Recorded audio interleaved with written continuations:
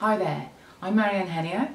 I'm a knitwear designer and my hand and machine knitting patterns can be found on modernknittingpatterns.com.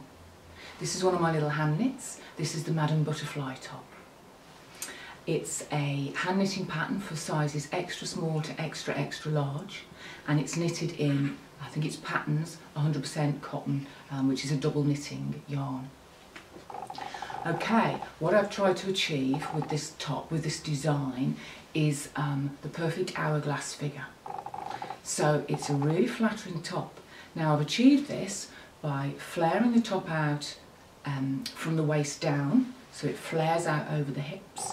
But then also at the top, you'll see it's a, a, sleeveless top, but the collar actually drops slightly over the shoulders and that gives um, that exaggerates that hourglass shape.